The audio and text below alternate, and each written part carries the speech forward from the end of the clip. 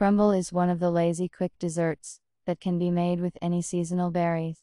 I want to share with you a recipe for how to cook cherry crumble with cereal flakes PP dessert. Prepare the necessary products. Grind the flakes to a coarse crumb. Chop the nuts coarsely. In a bowl, combine the flakes, nuts, butter and honey. 1 tablespoon L. Mix. Put the cherries in a heat resistant mold and pour over the remaining honey. Spread the cereal mixture on top. Put it to bake in the oven at 200 degrees for 25 30 minutes. Cool the finished cherry crumble and serve it to the table. Enjoy your meal.